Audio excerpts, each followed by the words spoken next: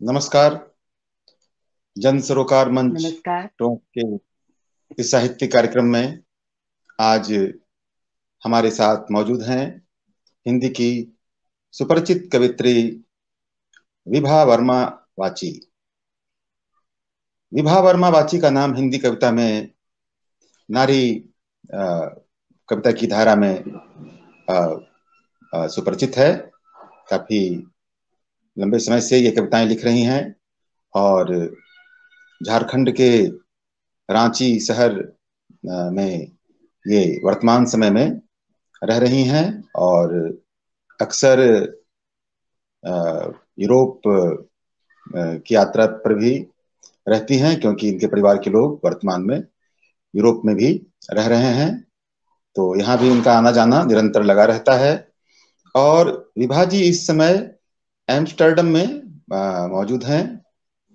जन सरोकार मंच के इस कार्यक्रम में हमारे अनुरोध पर वो अपने व्यस्त समय के बीच इन्होंने कुछ समय काव्य पाठ के लिए और साहित्यिक वार्तालाप के लिए निकाला है और आज हम सबके बीच आई हैं। विभा वर्मा वाची जी, आपका सादर नमस्कार। इस कार्यक्रम में आपका स्वागत है। नमस्कार राजीव जी। कि आप कार्यक्रम में मौजूद हैं। आप, हमें, हम लोगों को बताइए कि कविता लेखन की शुरुआत आपके जीवन में कब हुई? कैसे कविता की ओर आपका रुझान कायम हुआ?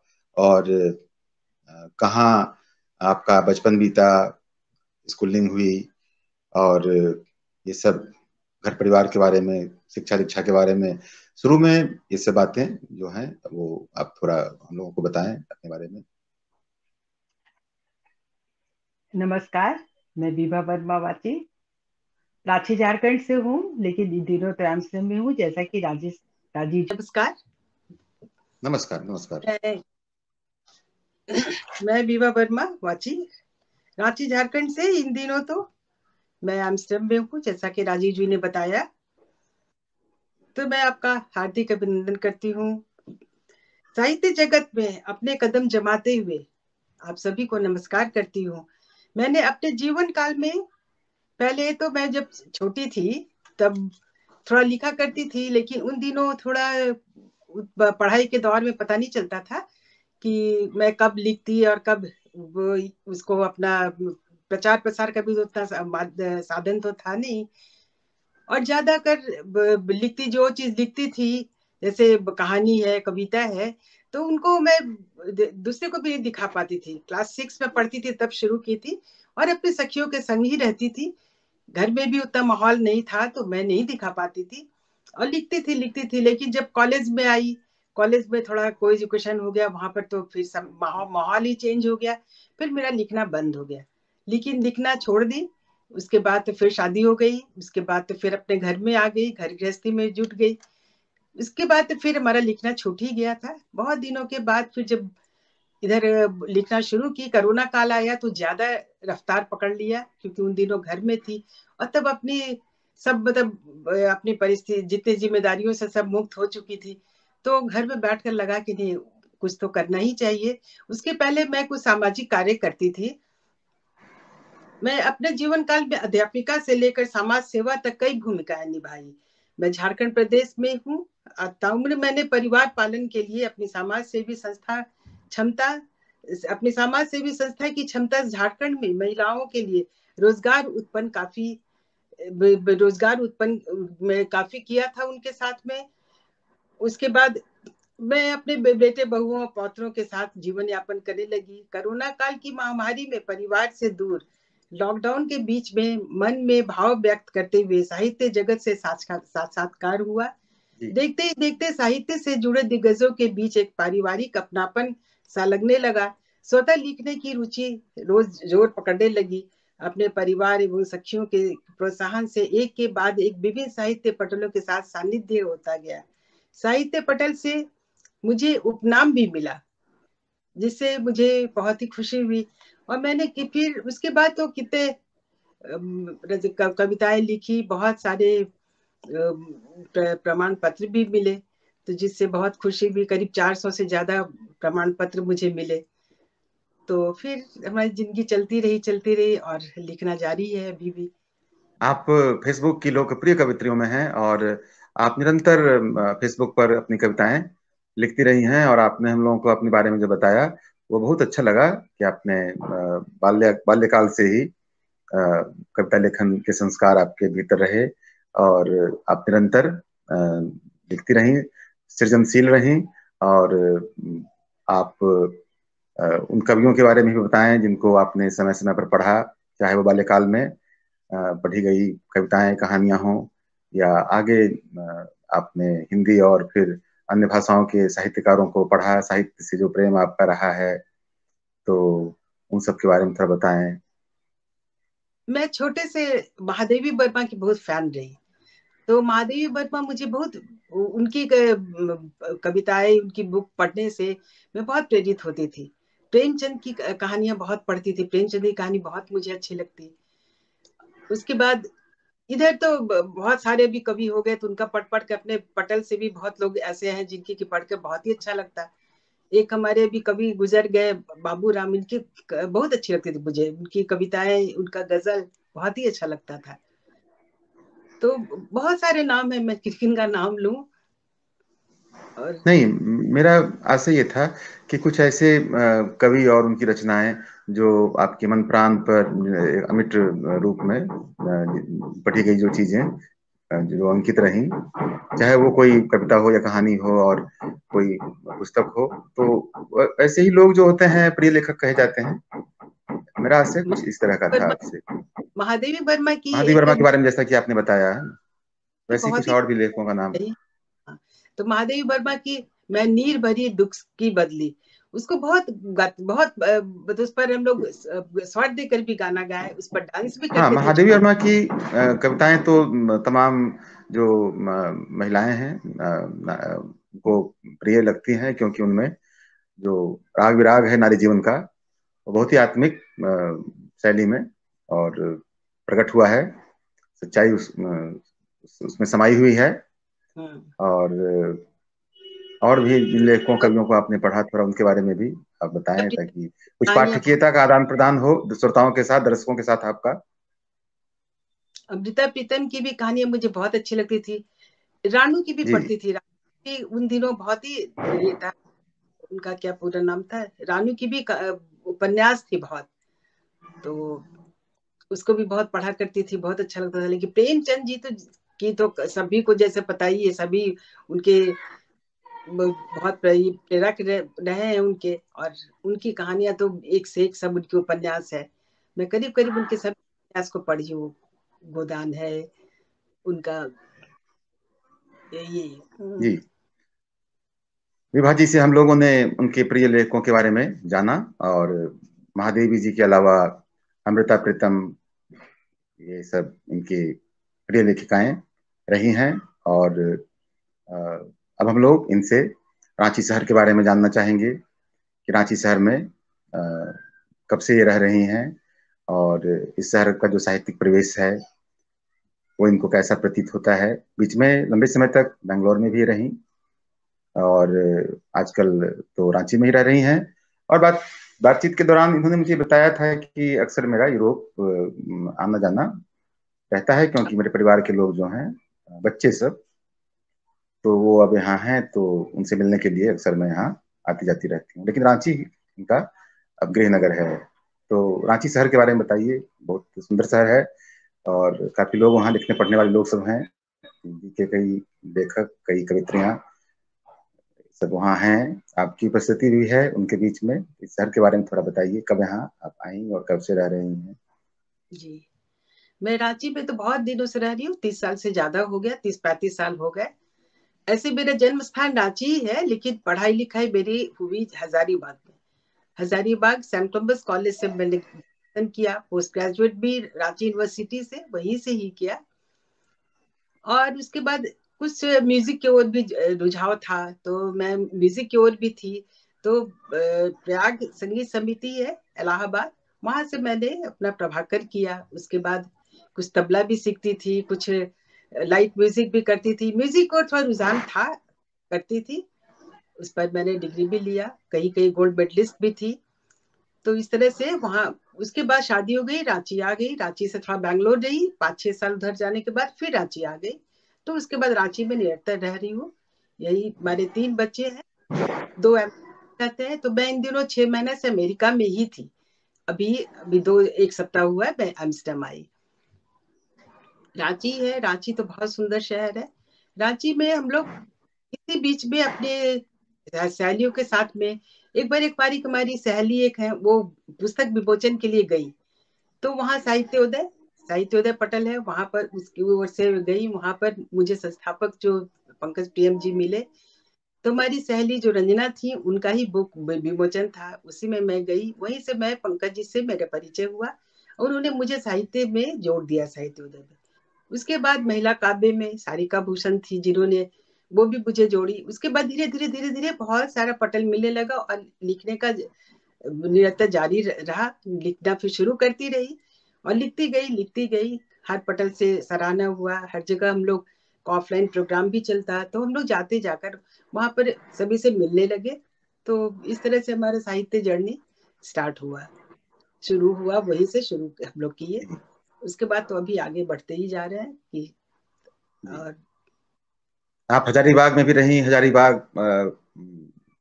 एक बहुत एक प्रसिद्ध शहर है और यहाँ हिंदी साहित्य के बहुत सारे लेखक यहाँ लेखकों का नाम जुड़ा रहा है इस शहर से। यहाँ पर फादर कामिल बोल के भी लंबे समय तक रहे और उनका काफ़ी समय यहाँ व्यतीत हुआ। राम कथा के मर्मज्ञ माने जाते हैं वो।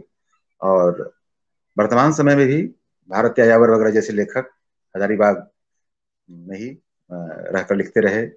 फिर रांची तो एक बहुत प्रसिद्ध शहर है और बहुत सारे लेखकों का नाम इससे जुड़ा हुआ है और ये शहर आपको बहुत प्रिय है। और अब आप से हम लोग कुछ कविताएँ वगैरह सुनना चाहेंगे। आप कुछ कविताएँ वगैरह अब आप सुनाएँ। और आपसे गुजारिश है कि आप कुछ अच्छी कविताएँ अपनी जो है आपकी तमाम कविताएँ पठनीय हैं लेकिन उनमें जो आपको प्रिय हैं जो कविताएँ तो उनको सुनाएँ आप। मैं सबसे पहले झारखंड के बारे ही कविता अपनी सुनाती हूँ क्योंकि झारखंड के बारे आप देखें कि यहाँ पे क्या क्या है। जय झारखंड। हरित भूमि है धरा पर हमारा झारखंड प्रदेश न्यारा। हरित भूमि है धरा पर हमारा झारखंड प्रदेश न्यारा, जंगल पर्वत से आच्छादित सुंदर एक पिटारा। जंगल पर्वत से आच्छादित सुंदर एक पिटारा कणकण में कुदरत का करिश्मा खूब दिखाई देता है। कणकण में कुदरत का करिश्मा खूब दिखाई देता है। झरनों का संगीत झरझर सा मधुर निनाद करता है। गूंजे जय झारखंड का नारा, सबका हो यहाँ गुजारा। गूंजे जय झारखंड का नारा, सबका हो यहाँ गुजारा। हमारा झारखंड प्रदेश न्यारा। आदम संस्कृति वाले सब लोग भले लोग आदम संस्कृति वाले सब सब भोले भाले लोग बिरसा मुंडा के अनुयायी जंगल वन जल ज़मीन वाले लोग। यहाँ पर जंगल बहुत है और ज़्यादा लोग तो ज़मीन पर ही ज़्यादा गुजर गुजर बसर करते हैं। जंगल वन जल ज़मीन वाले लोग पत्थर से फौलादी संकट को सदा झेल दूर भगाने वाले लोग। यही तो हमारा झारखंड प्रदेश के हैं लोग। स्वर्ण रेखा खरकई, बराकर, कोयल और दामोदर नदियाँ। स्वर्ण रेखा खरकई, बराकर, कोयल और दामोदर नदियाँ। यहाँ की छोटी छोटी पर्वत उम्र बताती सदियाँ। अलग अलग राज्य का सपना देखने वाले अलग अलग राज्य का सपना देखने वाले जयपाल सिंह मुंडा इस धरती पर जन्मे भगवान बिरसा मुंडा। औद्योगिक क्षेत्र कला, साहित्य, संस्कृति से अलग पहचान, औद्योगिक क्षेत्र औद्योगिक क्षेत्र, कला, साहित्य, संस्कृति से अलग पहचान यहाँ है खनिज खानों का भंडार। हरित प्रदेश झारखंड की है शान। खेल रत्न से भरा पड़ा प्रदेश का कोना कोना। खेल रत्न से भरा पड़ा प्रदेश का कोना कोना। सभी क्षेत्रों से भरे पड़े हैं लोहा, कोयला और सोना बाबा बोला भंडारी बैनाथ धाम और माँ छिड़ छिड़मस्तिका मंदिर छिड़मस्तिका का मंदिर है। जिनकी शक्ति है अपरंपरा अब परंपर झारखंड प्रदेश है, यही है प्यार। वीर हुए यहाँ जैसे सिंधु कानू, तिलक माझी और अल्बर्ट इक्का। वीर हुए हैं जैसे सिंधु कानू, तिलक माझी और अल्बर्ट का सभी खनिज पाए जाते यहाँ, अनोखा राज्य झारखंड है हम सबका। सभी खनिज पाए जाते यहाँ, अनोखा राज्य है झारखंड प्रदेश झारखंड है हम सबका।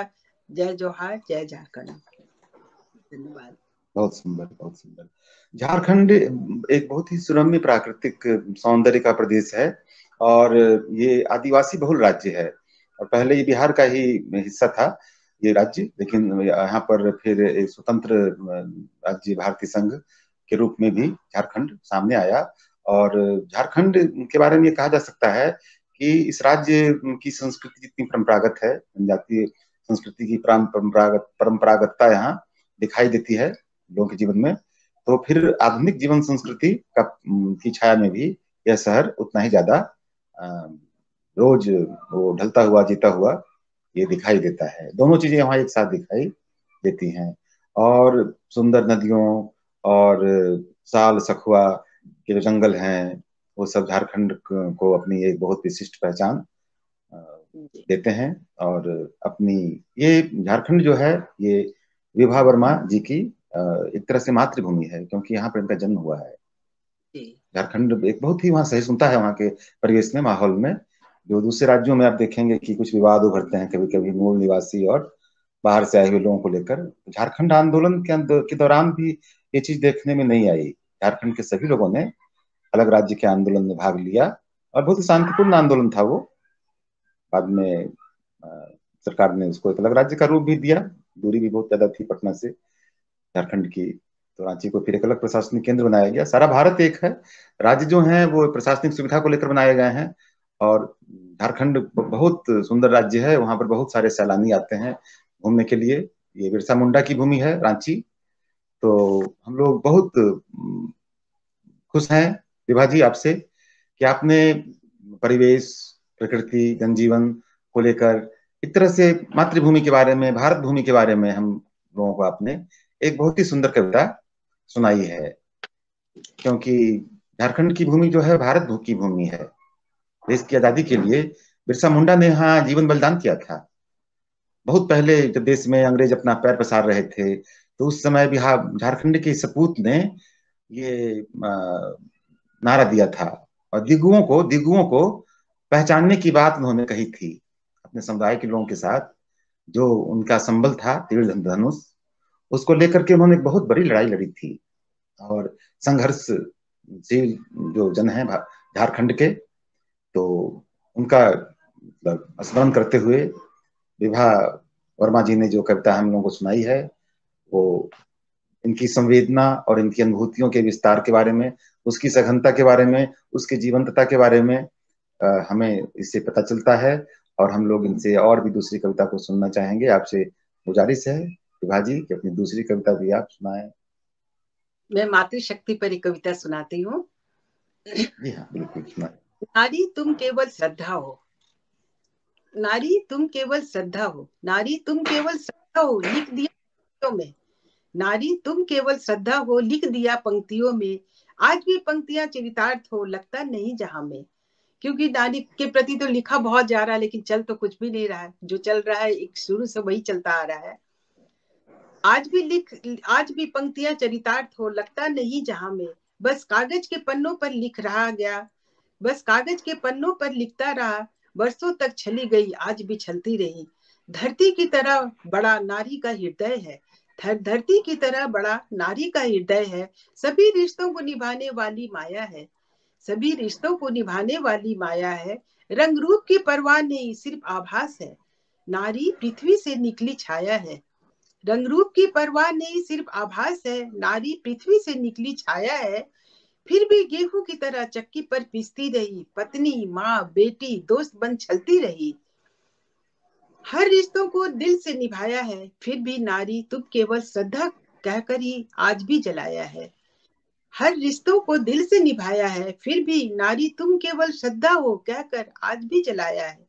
नारी तुम दुर्गा हो, काली हो, तुम देवी हो, सिर्फ़ समाज गुंजित हुआ, मन भ्रमित हुआ, नहीं हुआ बोर। नारी तुम दुर्गा हो, काली हो, तुम देवी हो, तुम सिर्फ़ समाज गुंजित हुआ, मन भ्रम, मन भ्रमित हुआ, नहीं हुआ बोर। हम शक्ति के अवलंबन थे, रिश्तों के खातिर हुए कमज़ोर। हम शक्ति के अवलंबन थे, रिश्तों के खातिर हुए कमज़ोर।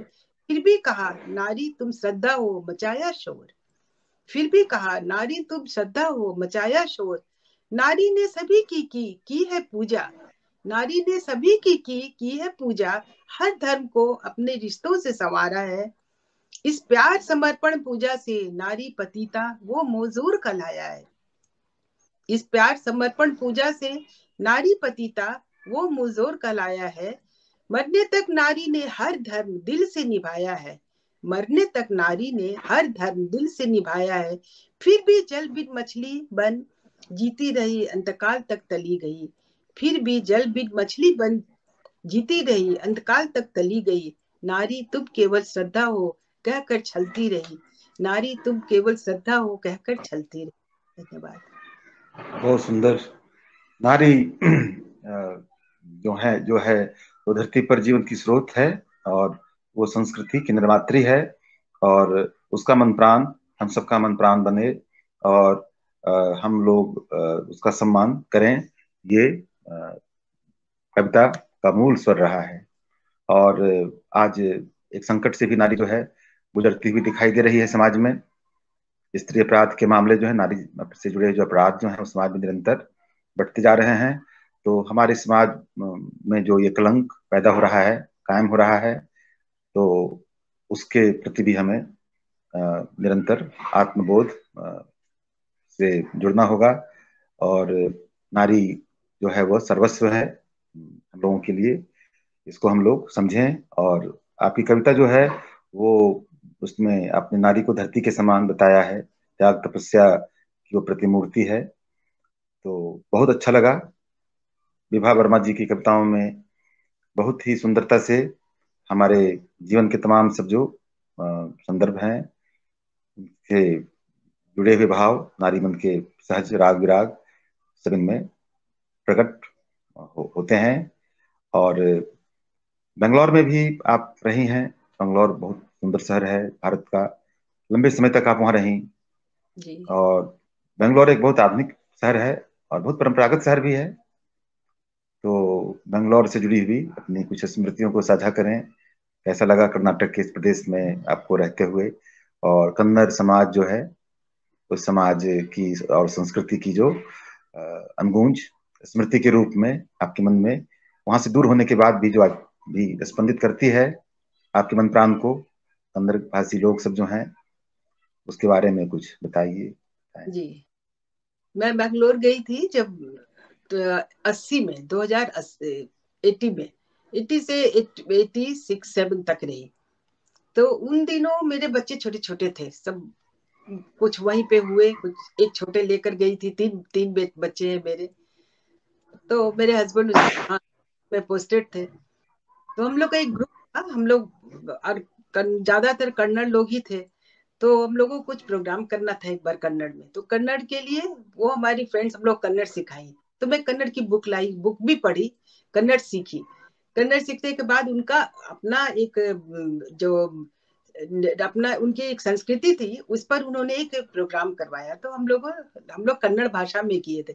तो मेरे, मुझे बहुत याद, आज तो भूल गई, वो सर्टिफिकेट भी मिला था, जिसको पढ़ना भी भूल गई, लेकिन कन्नड़ तब सीखी थी। कन्नड़ बहुत अच्छा लगता था, क्योंकि संस्कृत से बहुत जुड़ा हुआ है उसमें।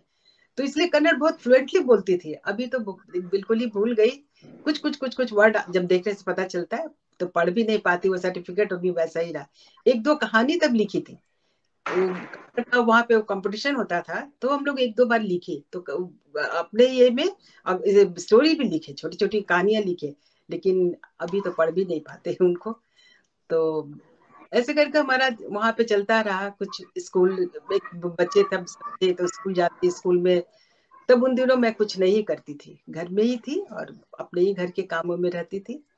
बस बच्चे बहुत छोटे छोटे थे कोई दो साल के हैं कोई डेढ़ साल के हैं इस तरह से थे तो ऐसे हमारा वहाँ का सफ़र खत्म हुआ क्योंकि बहुत दूरी थी। इधर से आना जाना भी मुश्किल होता था उन दिनों। अभी तो बहुत साधन हो गए तब तो ज़्यादा था नहीं। तो फिर हम लोग वापस रांची। बंगलौर में भी आप कविताएँ लिखती रही होंगी है ना? तो वहाँ कोई कविता आपने जो लिखी हो कहानी लेकिन मेरे पास कन्नड़ भाषा में लिखी हुई थी अभी बिल्कुल ही सब कुछ कविताएँ एक दो लिखी थी तो अभी मेरे पास तो यहाँ पे नहीं है। तो बैंगलोर में लिखी गई कोई कविता अगर आपको याद हो तो आप सुनाए कोई कोई भी कविता जो आपने लिखी हो बैंगलोर में। अभी अभी मेरे या फिर कोई और कविता आप सुनाए। हाँ। हाँ मैं एक बात तो बताना भूल गई थी। मैंने अपने मेरी बुक भी एक निकले है। तो एक काव्यारुण काव्यारुण मेरी बुक। काव्यारुण जी। ये विभा वर्मा बाची जी का ये काव्य संग्रह है काव्यारुण तो पहली पुस्तक लिखी तो चलने वाली है। जी। इसी से मैंने काव्य काव्यारुण की कुछ कविताएँ आप सुनाए?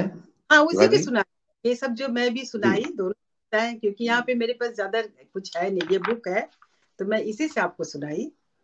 जी।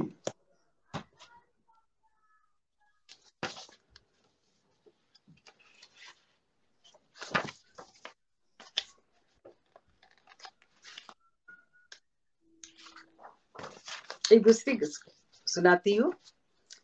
बिन कहानी व्यर्थ जवानी। बिन कहानी व्यर्थ जवानी। ज़िंदगी के हर में छुपाई है एक कहानी। ज़िंदगी हर में छुपाई है एक कहानी। बिन बिन उसके जीवन न बढ़े, न आए जवानी। बचपन बीता, जवानी बीती, फिर आया बुढ़ापा। बचपन बीता, जवानी बीती, फिर आया बुढ़ापा। वह जवानी बिन कहानी व्यर्थ जवानी। वह जवानी बिन कहानी, व्यर्थ जवानी, जीवन जीना था, उतार चढ़ाव का आलम था। जीवन जीना था, उतार चढ़ाव का आलम था। जवानी का माजरा था, रात दिन जागा था। रात गुजरी यादों में, सुबह दिल ताज़ा नज़र आया। कलियों की गुलाबी याद सी ख्वाब में छाई। वह जवानी, बिन कहानी, व्यर्थ जवानी। बीते कल याद, कर जवानी, रात भर रोया। याद कुछ आई, परछाई साथ साथ आया। जहाँ हम छोड़ आए थे, कभी यादों की परछाई। वहीं से शुरू हुआ कहानी, बीती गई जवानी। ये वह जवानी, बिन कहानी, व्यर्थ जवानी। का एक एहसासों की भरी कहानी थी। वही थी अधूरी जवानी की व्यर्थ कहानी। दिल से दिल जोड़ा जवानी का चढ़ा नशा। ख्वाब अनेक थे, आशाएँ बढ़ती जा रही थी। वह जवानी, बिन कहानी, व्यर्थ जवानी। जवानी की दीप ऐसे जलाओ जो बुझे नहीं। जख्म ऐसा हो जो गहरा कर जीना सिखाए व्यर्थ किस्मत पर क्या रोना? किस्मत मुट्ठी में है। अपनी कहानी खुद लिखें जवानी व्यर्थ न हो। यह जवानी बिन वह जवानी बिन कहानी व्यर्थ जवानी। ये मैंने अभी दो, दो दिन तो लिखी थी। स्मृतियों के सहारे और यादों के आईने में विभा जी की कविताएँ जो हैं वो जीवन की बहुत सारी जो बातें हैं। सीधी सच्ची सरल खट्टी मिट्टी बातें तो अपने आत्मीय संस्पर्शों में उन सब बातों को इनकी कविताएँ समेटती हैं और ये कविता इनकी बहुत पसंद आई है सबको मुझको और कोई और भी कविता सुनाइए? हाँ, दूसरी कविता भी सुनाए। असफलता है। असफल होने से कभी ज़्यादा दुखी नहीं होना चाहिए असफलता अनुभव देती है। अगर आप कभी गिरते हैं तो गिरकर उठते भी तो इसी पर मैंने कुछ लिखा है। असफलता अनुभव देती है। ज़िंदगी के खोए हुए ज़िंदगी के खोए हर अनुभव का सार होता है। ज़िंदगी के खोए हर अनुभव का सार होता है। कठिन परिश्रम सफलता का आधार होता है। कठिन परिश्रम सफलता का आधार होता है।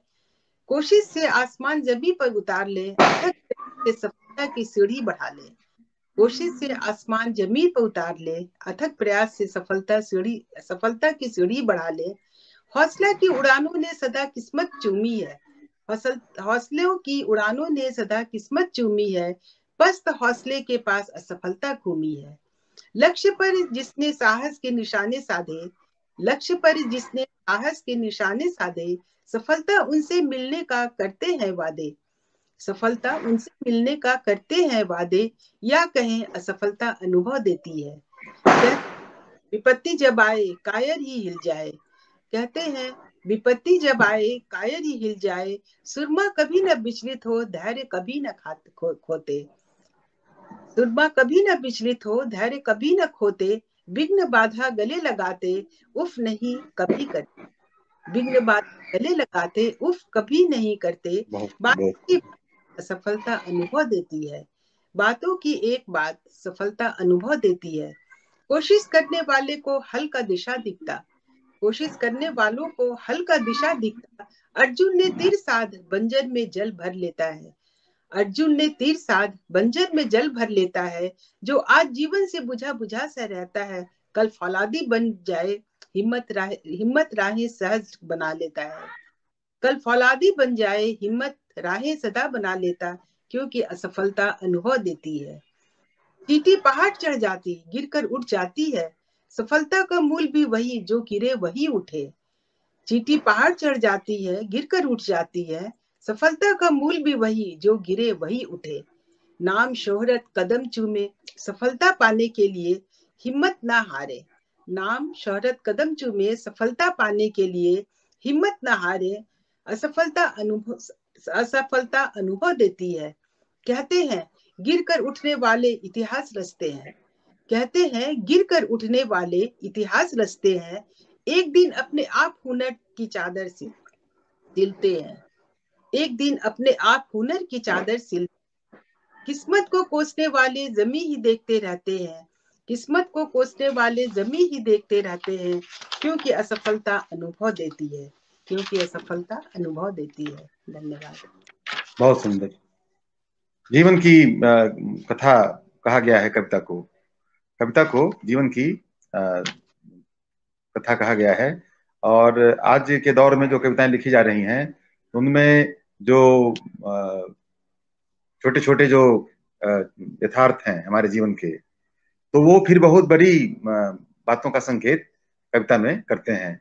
उनके कैनवास पर आप जब गौर करेंगे तो आज के जीवन का जो तनाव है, आज के जीवन का की जो भाग दौड़ है, और उसके बीच में जो हम लोगों का संघर्ष है तो वो सब कविता का सबसे महत्वपूर्ण विषय वो बनता चला जाता है और यहीं पर हमारी जो जीव जीविका है, वो कविता के भीतर प्रकट होती है। और विवाह वर्मा जी की कविताएँ जो हैं, वो नारी जीवन की जो ऊर्जा है, जो उसकी शक्ति है, जो नारी की जो जीविका है तो उसके कई आयामों को बहुत ही सजीवता से उद्घाटित करती है।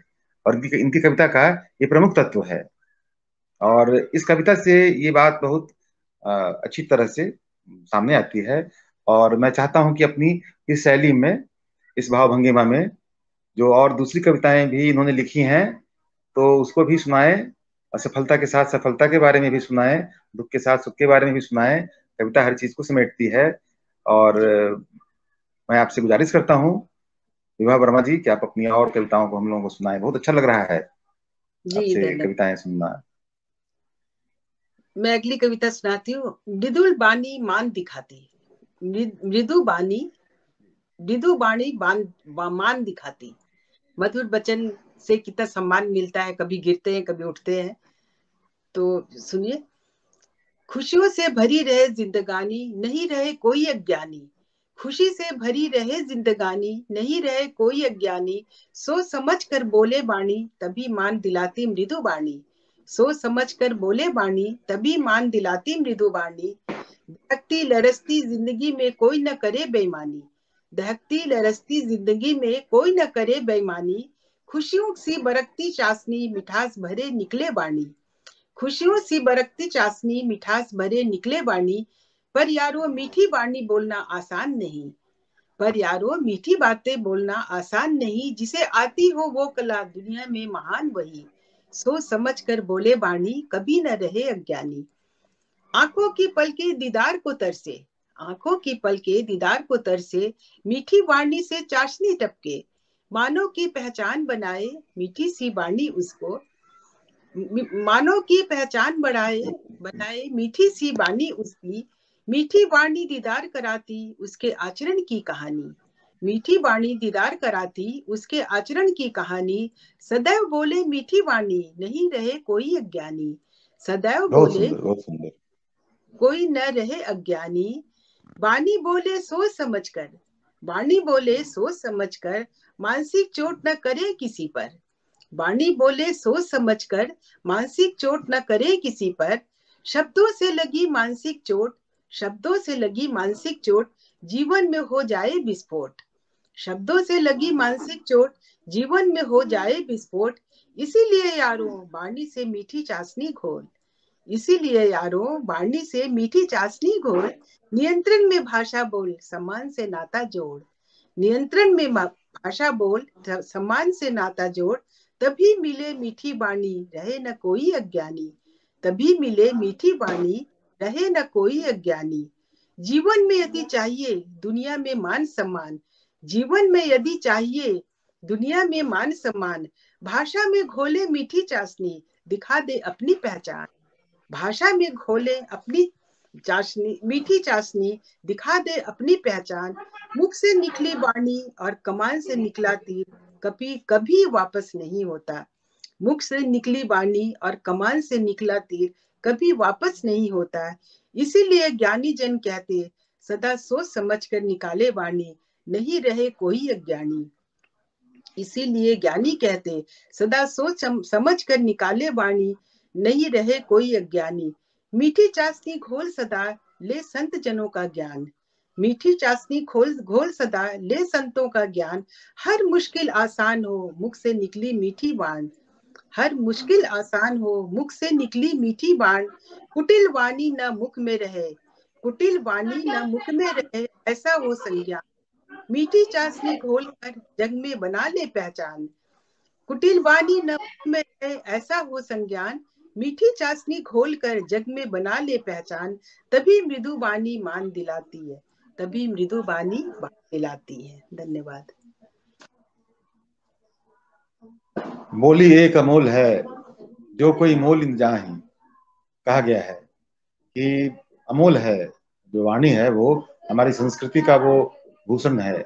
और हिंदी कविता में नीति की बातें सब जो हैं, ज्ञान की बातें, सामाजिकता की बातें, संस्कृति की बातें, वो कविता का बहुत वो, मूल स्वर रहा है। अक्सर देखिए रामचरित मानस में तुलसीदास भी जो है, हमें नीति की बातें वो बताते चलते हैं और मध्यकाल में रहीम ने कबीर ने सबने, नीति की बातें बताई हैं। तो जीवन को जितना एक कवि समझता है वो उसके यथार्थ को अपनी कविता का विषय भी बनाता है और कवित्री के रूप में विभा जी ने भी अपनी इस कविता में वाणी के, के बारे में हमें बताया है और नारी के रूप में माता के रूप में इन्होंने जो जिस विषय को उठाया है जो बातें इन्होंने कही हैं तो सबको हृदयंगम करनी चाहिए। उसको गौर से उसको सुनना चाहिए और उसको समझना चाहिए। बहुत अच्छा लगा। आपकी कविताओं में बहुत भाव, भंगिमा, शैली, इसकी विविधता देखने को मिलती है। अक्सर कविता जो है, मुझे लगता है कि ज़्यादातर कवि जो है, वो जब कविता लिखते हैं तो उसमें एक एक रस्ता का भाव प्रवाहित होता दिखाई देता है।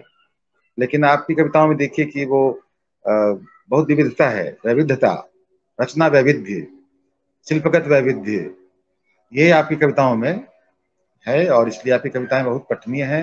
हम लोगों को सुनने में बहुत अच्छा लग रहा है और आपका जो काव्य संग्रह है काव्य अरुण आज आप लेकर के भी आई हैं और हम लोग इसको मंगवा करके भी पढ़ेंगे आपके संग्रह को। तो अभी तो आज काव्य संध्या ही है ये और आप स्टूडियो में आमंत्रित हैं। आपने आ, हम लोगों को समय दिया है। एक बहुमूल्य समय। बहुत दूर हैं आप एम्स्टर्डम में हैं। तो बीच में थोड़ा सा यूरोप के बारे में भी बताइए कि वहाँ शरद ऋतु जो है, कैसे मनाया जा रहा है। नीदरलैंड में शरद ऋतु में क्या सुंदरता दिखाई दे रही है और बरसात के बाद अब वहाँ कैसा प्राकृतिक परिवेश है, थोड़ा इसके बारे में बताइए। अभी तो यूरोप में ठंड बहुत ज़्यादा हो गया माइनस पर टेम्परेचर जा रहा है अभी तो। और कल यहाँ पर भी भारतीय बहुत है तो भारतीय परिवेश में कल कल वहाँ ये था, दीपावली फेस्टिवल मनाया जा रहा था। तो कल हम लोग गए वहाँ तो बहुत करीब अठारह हज़ार हिंदुस्तानी वहाँ थे। पब्लिक आई भी थी और उसमें अठारह हज़ार हिंदुस्तानी थे। सोचिए कितने बड़ी संख्या में यहाँ पे लोग रहते हैं। और हिंदी गाना चल रहा था, सारे अपना इंडियन खाना, जितने अंग्रेज़ भी आए हुए थे, वो भी इंडियन खाना को पसंद कर रहे हैं।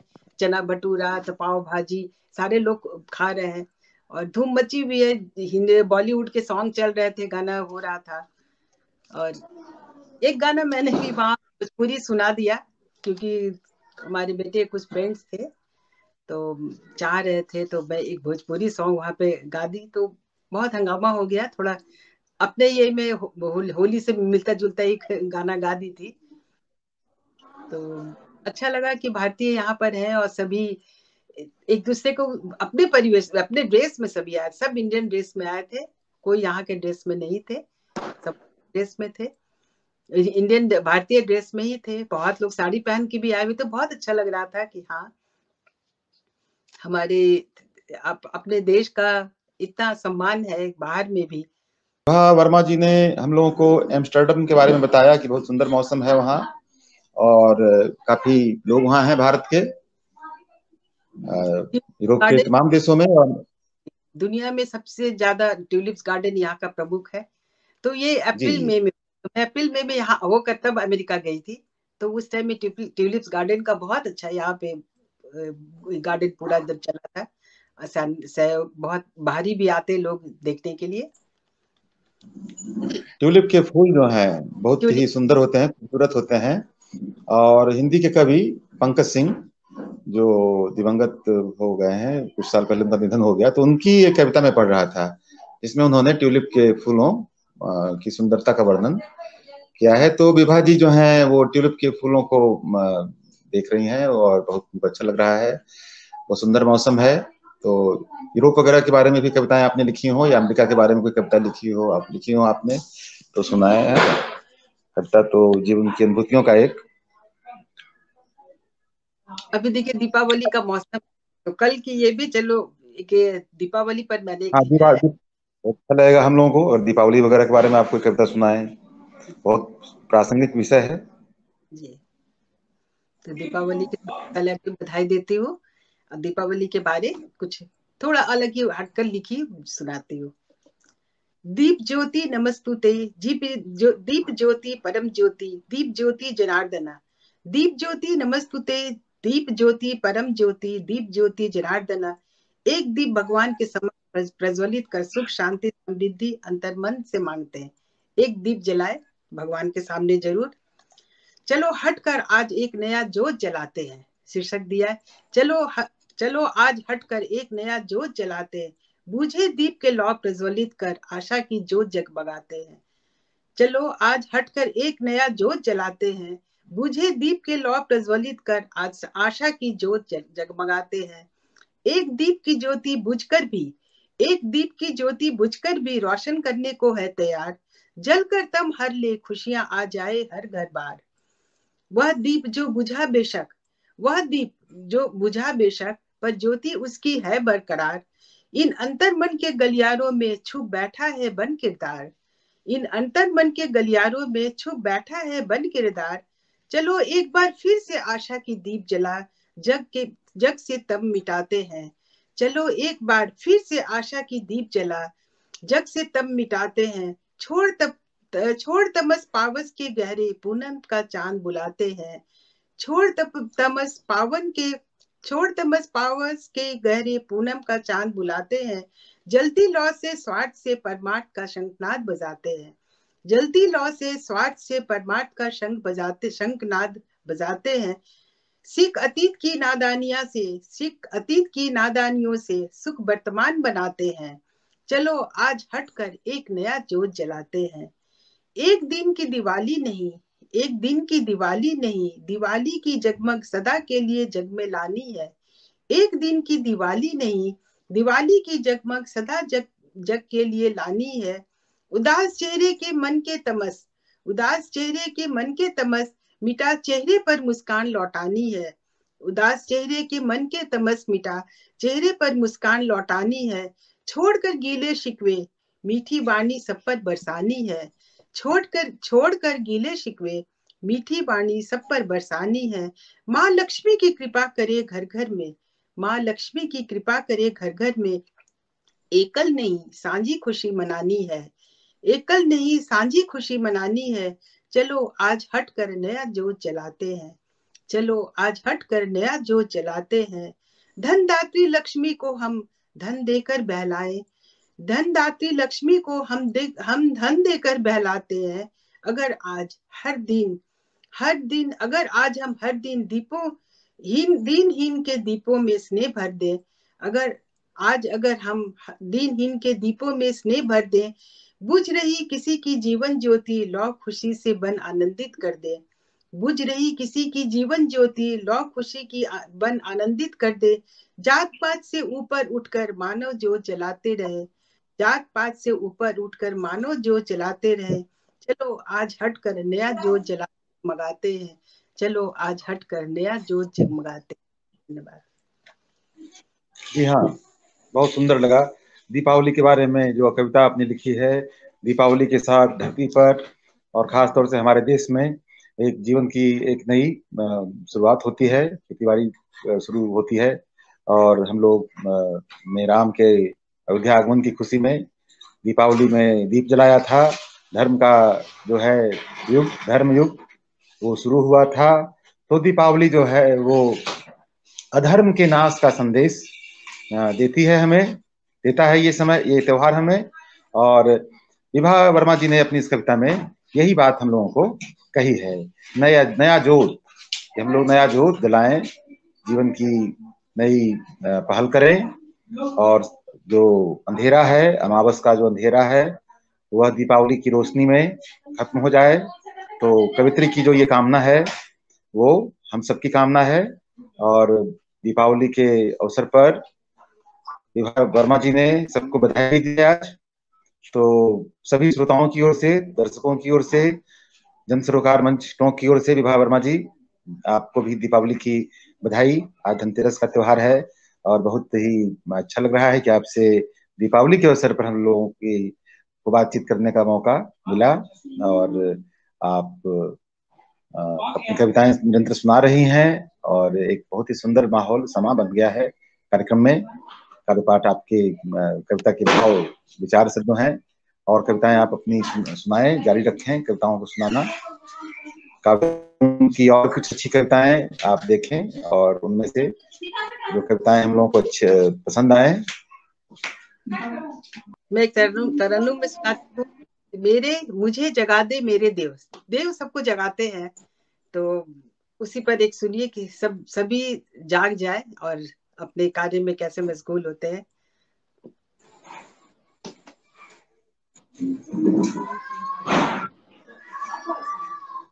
मुझे जगाते मेरे देव। इस जग में न कोई दूजा, पूजती हूँ तुझे। इस जग में न कोई दूजा, पूजती हूँ तुझे। तुझ सा अब कोई नहीं, मुझे जगा दे मेरे दे तुझ सा अब कोई नहीं, मुझे जगा दे मेरे दे। स्वर्णिम सुहाना हो सवेरा तेरा गुण गाती रहूँ। स्वर्णिम सुहाना हो सवेरा तेरा गुण गाती रहूँ। इस जग में न कोई दूजा पूजती हूँ तुझे। आंधिया तूफ़ान आए, तेरा सहारा। आंधिया तूफ़ान आए, तेरा सहारा हो मुझे। शूल पग में ना चुभे मुझे जगाते पीर दे। चूल पग में ना चुभे मुझे जगा दे। मेरे भंवर जाल घेरे हमें बचा ले डूबती नैया। भंवर